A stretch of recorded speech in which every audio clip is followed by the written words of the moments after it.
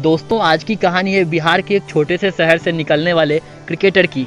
बिहार के समस्तीपुर में रहने वाले एक छोटे से क्रिकेटर का, जो एक टेनिस बॉल टूर्नामेंट से अपना करियर शुरुआत किया था और अभी मुंबई इंडियंस की टीम से आईपीएल खेल रहे हैं। इस सफ़र की कहानी बहुत ही रोचक थी दोस्तों। तो आज हम जानेंगे अनुकूल रॉय के बारे में।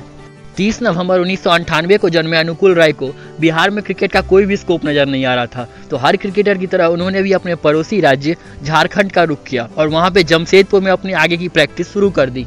दोस्तों जानकारी के लिए आपको बता दें कि अनुकूल राय के पिता एक लॉयर हैं और उनकी माता एक हाउस वाइफ है। उन्होंने 2005 में क्रिकेट खेलना शुरू किया और जमशेदपुर के झारखंड क्रिकेट अकेडमी से अपना करियर की शुरुआत की जहाँ उन्होंने झारखंड के लिए अंडर 16, अंडर 19 और विजय हजारे भी खेला। अनुकूल रॉय को समस्तीपुर का रविंद्र जडेजा भी कहा जाता है और माना जाता है कि अनुकूल रॉय रविंद्र जडेजा के बहुत बड़े फ़ैन है और उनका कमरा रविंद्र जडेजा के पोस्टर से पूरा भरा पड़ा है। आपको बता दें कि अनुकूल रॉय ने अपनी शुरुआती पढ़ाई डीएवी स्कूल से की हुई है और उनके पिताजी का काफ़ी सपोर्ट था उनके क्रिकेटर बनने में। अनुकूल रॉय लेफ़्ट आर्म ऑर्थोडॉक्स गेंदबाज हैं और साथ साथ लेफ़्ट हैंडर बल्लेबाज भी हैं। अनुकूल रॉय का सिलेक्शन 2017 में हुए अंडर 19 विश्व कप के लिए हुआ, जहाँ उन्होंने शानदार गेंदबाजी करते हुए हाईएस्ट विकेट टेकर भी रहे। अनुकूल रॉय अपने प्रदर्शन के साथ साथ अपने फिटनेस के लिए भी काफ़ी लोकप्रिय हैं। आपको बता दें कि हालाँकि अभी तक अनुकूल रॉय ने एक ही आईपीएल मैच खेला है, लेकिन मुंबई इंडियंस से इस साल 2020 में खेलते हुए ऐसा एक मैच भी नहीं गया कि जब उन्होंने मुंबई इंडियंस की तरफ़ से फील्डिंग ना किया हो। ये इस बात को दिखाता है कि अनुकूल रॉय की अहमियत मुंबई इंडियंस टीम में कितनी बड़ी है और वो कितने इंपॉर्टेंट खिलाड़ी हैं प्लेन एलेवन में जगह नहीं बना पाने के बावजूद भी।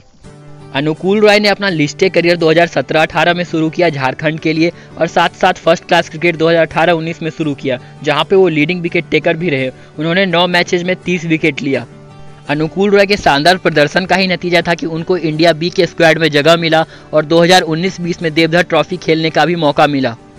मुंबई इंडियंस जैसी सीनियर टीम में उनको जगह मिलने का कारण उनका प्रदर्शन नहीं, बल्कि सीनियर खिलाड़ियों की मौजूदगी है। आपको बता दें कि कुणाल पांड्या मुंबई इंडियंस की तरफ़ से खेलते हैं, जो कि एक लेफ़्ट आर्म स्पिनर और लेफ़्ट हैंड बैट्समैन भी हैं। अनुकूल रॉय एक कमाल के ऑलराउंडर है और खास करके उनकी बैटिंग काफ़ी अच्छी हिटिंग पावर है उनकी।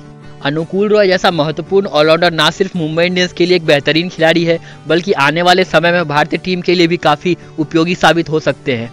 आईपीएल 2020 में भी उन्होंने कई बार अपनी फील्डिंग से दर्शकों का दिल जीत लिया बिना खेले हुए ही। उम्मीद करेंगे कि अनुकूल राय को एक दिन भारतीय टीम में खेलने का मौका ज़रूर मिले। क्रिकेट की ऐसी ही मोटिवेशनल कहानियों के लिए जुड़े रहे हमारे चैनल क्रिकेट हेल्प से। और क्रिकेट हेल्प को सब्सक्राइब करना ना भूलें।